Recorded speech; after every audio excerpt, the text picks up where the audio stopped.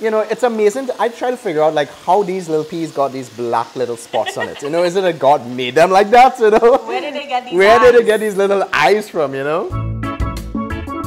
Hi guys, you're watching How to Foodie Nation, where all the flavors of Trinbagonian cuisine come to life. Today, we'll be doing a traditional black-eyed peas and rice. So let's get cooking. Kezi, black eyed peas and rice. Tradition.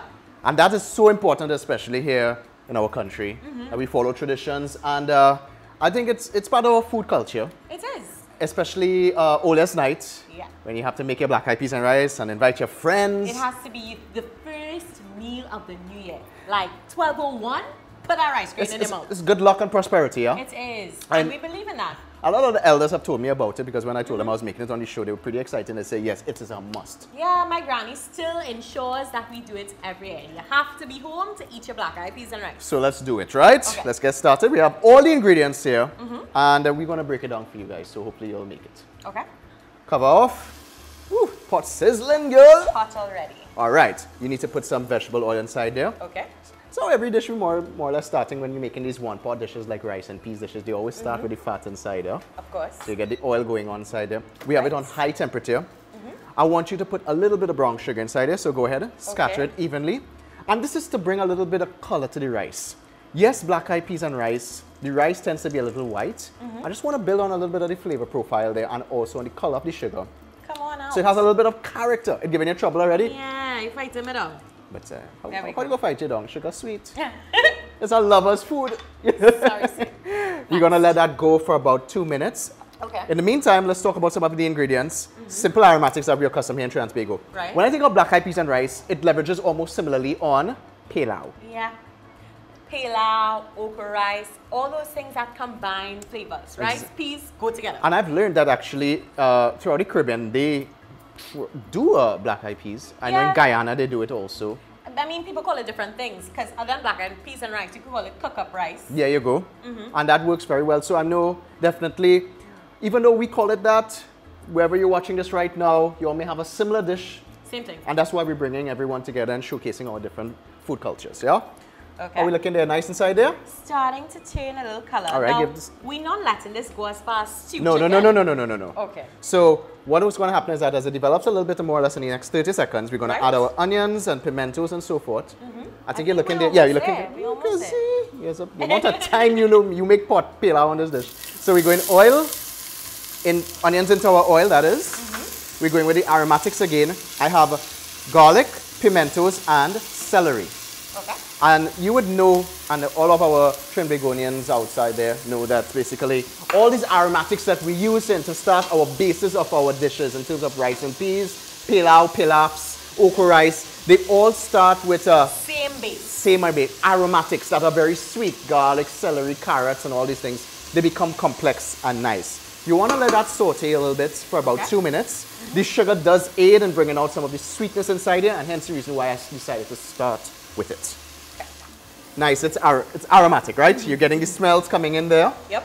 Now, what I would like to do is we have some diced carrots. Right. Just add a little bit of color into the rice. Your parrot excited.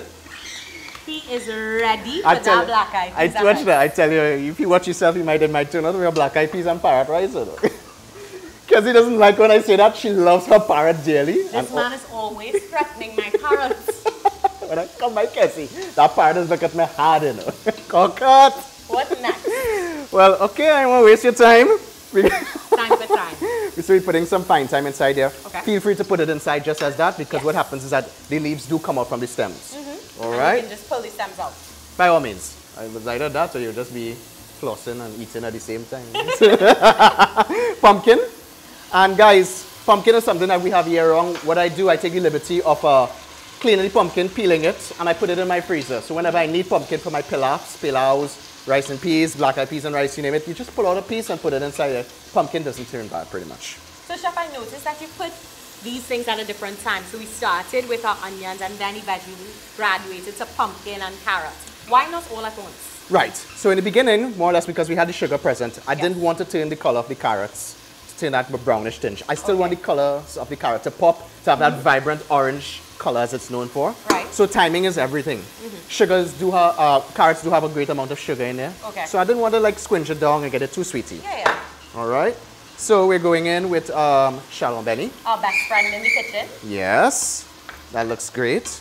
So again, building on the flavors, the Chadon Beni is pungent. As you would know, it's called culantro. Mm-hmm. So if you cannot find Chadon Beni, culantro works well. If you can't find culantro, cilantro. It's a pretty- close It's, substitute. it's a close substitute that you could go with it. Now, Kezi, as you have this here, Yes. we're going in for the next two minutes Okay. to allow those flavors to build now. As you see, a melody of colors. Mm-hmm. So we know our peas and rice, our black eyed peas and rice is going to have character. it's already colorful gonna already. Good looking. Talking about good looking, this is where the flavors start to come in, girl. Now, This is the best part of the pots. I like where you're going. And this is what I spoke to some of the elders about. They told me, a lady in my area, and she said, yeah, you gotta put some pigtail in that rice, you know. I mean, if you don't want it, you Or could you omit it. Don't eat meat. You could leave it out. Smoke bones work well, pigtail work well. But black eyed peas and rice typically usually has some sort of flavoring agent inside of it. Yeah. Um, we just, uh, you know, we, we like pigtail. We like We love pigtail. pigtail. so we must have. That is pre-boiled, ladies and gents. I cut it into like half-inch cubes, boil them to remove some of the extra salt inside there because they are intensely pickled with salt. Right. So you want to let this go for about three minutes. Allow that to flavor the aromatics that we added on early on because that's going to be a huge flavor foundation for our rice later on when we add that in. So we leaving this uncovered? Yeah, for about two minutes. Okay. The star ingredient, mm-hmm. black eyed peas. We're going inside there. Can't make black eyed peas and rice without black eyed peas. I mean, black eyed peas have such an interesting texture. I, I agree with you. It's very buttery. Yes. And, uh, you know, it's amazing. I try to figure out, like, how these little peas got these black little spots on it. You know, is it that God made them like that, you know? Where did they get these Where did they get these little eyes from, you know? Yeah. Uh, we are going in with our rice also at the same Okay. time. So just sprinkling it inside there.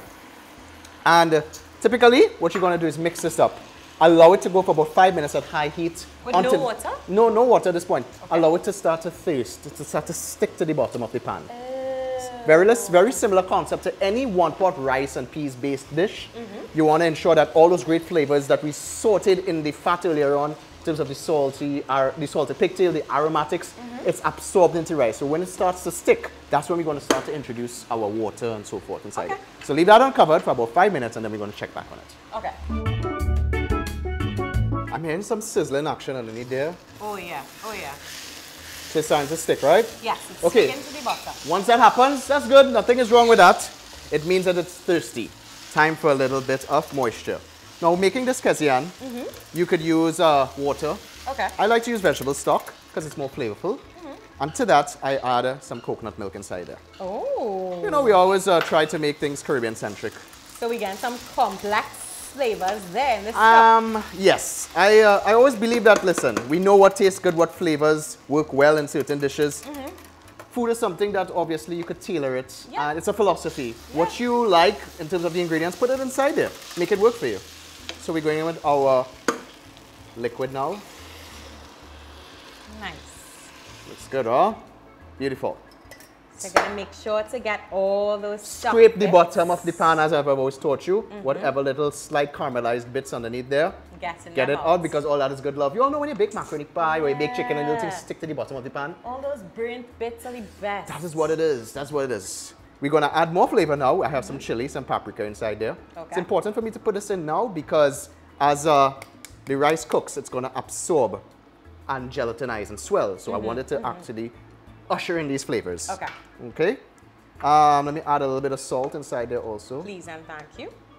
Uh, some black pepper. We could also add this a little later on also to adjust the flavors. Right. Again, we want to make sure that the dish is complex and fully seasoned at this point in time. Mm-hmm. So Kezi, what we need to do now is put in the ubiquitous bad boy of Trinidad and Tobago, or Always scorpion, scorpion pepper. Um, this is just going to flavor it lightly. It's not going to burst or anything of that nature. So it's just to put inside it, our flotation device. Drop them in. Beautiful. Good to go. Because you want to cover this, you want to Okay. bring it to a boil. It Okay. takes about 8 to 10 minutes to come to a boil. Once Right. it comes to a boil, you're going to reduce the temperature to medium Mm-hmm. and let it cook for about 15 to 20 minutes at that nice slight bubbling consistency. So uncovered or covered at the end? You're keeping it covered at this point in time. Okay. All right, so once it comes up to the boil, bring it down to medium. Right. and keep it covered still. Continue to cook it for an additional 15 to 20 minutes. All right. So that's pretty much it. We'll check back on it. So Kezi, after about 15 to 20 minutes, this is what we're looking at. Mm. A nice moist preparation. The beans have cooked down nicely inside there. As you can see, it has a great amount of moistness inside there. Yes. Now, ladies and gents, pretty much if you leave this let it sit for about five minutes, it's gonna get dry on you. It's not a problem if you want it like that. A little, sometimes people want their black eyed peas and rice or their pilau a little more drier. Yeah. It's not a problem. Because it's a carbohydrate, rice and peas will obviously suck up liquid and, And it will absorb. get. So my thing about it is that I make it like this and uh, you could leave it, it go for about a two, three minutes to dry up a little bit. Okay. While it's vulnerable at this point, Yes. Kezzianne, we need to season it up. Okay. But what do we need to put it in? So you need to taste it. I need to taste it. Remember we added a black pepper salt, uh, paprika, chili inside there. It has the salted uh, pigtails inside there already also, and a load of aromatics. So this is where we adjust the flavors on point. Did I pass? Did I pass? It's, I it's mean- good? It's nice? I think we're good, you know. I think we're good as is. Look at this. Yeah. Okay, so now this is where we just put in a little bit of the salted butter. This is condition it and give it the shine. Yes. People, we're going into the new year. You know, you gotta start right, you gotta start rich. It's just prosperity and luck Mm. And richness in the vibe. And love. and Chef, you know some people don't like salt, butter. Omit it, it's not a problem. you don't have to. My thing about it is it conditions the rice really well. It gives it that nice luxurious feel, Yes. and that's very important, especially in rice dishes or pilaf dishes. Mm-hmm. We tend to add a somewhat of a maybe cream at the end or some butteriness to the end. Right. It, and immediately you can see it has a nice shine on it. It's a resplendence. Yes, it's the new year going to 2020, people, ladies and gentlemen. We started with a bang. You know what I mean? we're going into the new year with resplendence. With resplendence. Shine. Got it. But that's what people is dress up when you see they go into all the, the, the big, oh, there's night fete and stuff. Nice so shiny. you dressing up the rice. Let me tell you all something, ladies and gents. 31st of December is my birthday. Yes, I'm a Capricorn. I was born on the last day of the year. So when you see I get excited over dishes around this time, This you can is birthday food. It's birthday food, you know, this is something I like. So yes, 31st of December, ladies and gents, Chef Jason was born. Happy birthday in advance. Thank Chef. you so thank you so much, my dear. So any more black pepper and salt or are we good there? Nah, I think we're good, you No, know, we did we added earlier on. Yeah. Right? We So- added sufficiently, and I think this salt butter will really just pull it all together. All right, so you know what? It's time to play this up and it's time for us to take a little taste. Kezi? I think your daddy and my granny would be very proud of this dish. Yes, um, this is definitely owed to our elders, Mm-hmm. especially in Trinidad and Tobago, and uh, the good old days night to bring the family across, the friends, people who have been there to, for the, you know, the course of the year, Yeah. and uh, celebrate with them, make black eyed peas, together. black eyed peas and rice. Yeah, of course, of course. And uh, I mean, I could see why we would sit down on a really beautiful uh, January 1st, as soon as the 1201, Soon as. and you head down with a nice hot plate of this and reminisce and talk about what's coming up for the upcoming year. Yeah, we love to, you know, bond and be together and talk about our hopes and dreams. Actually, guys, tell us what are your New Year's wishes? What are Yes. you your New Year's goals and your dreams? Tell us in the comments below. But before that, we need to taste. We need to taste because I mean this looks really good. I'm seeing the pigtail inside there, that beautiful pepper you put inside there, the carrots, everything. I want to get some rice first, though, just to get that rice and the peas. Mm, look at that, beautiful. Mmm, you know, it's creamy. Stop the presses. Stop. Come on, man, you just tell the people that we're going and try to share oh, in yeah, the new I, year. I changed my mind, guys. you change it, you see, Kezzy, I was really changed hoping for, a new year. Kezzy would behave better, but you know, same old Kezzy on how to, wanting to eat all the food. This is incredible. So much flavor, guys. You get that pumpkin, you get that carrot, you get that nice shadow benitas in there. Yes, and you can you realize that the heat inside there is a must. Yeah. From the pepper. It's nice and warm. It's inviting. It makes me think of family. You know the beans, as I mentioned earlier on, the beans are very buttery. So as they break down, It's a nice creamy nice texture. creaminess texture going on inside there, and that's Yes. a great aspect. I guess that's why um, you know, this is fair and very dear to a lot of people, especially the elders here in Trinidad and Tobago. That nice nostalgic feeling. Yeah, boy. I mean, So it's um, gonna be a brilliant, it's gonna be a brilliant year coming up. It will be such a fantastic year, guys. We want to wish you a happy, happy, happy 2020. And we're going to see you in 2020 with much, much, much more how-tos from Foodie Nation. But don't forget, hit that little subscription bell below. Mm-hmm. Give us a like, share the video, yeah. and uh, you know, great things. Because we are going to be doing even greater stuff in the new year. So stick. So with we'll us. see you next year, guys. Bye-bye.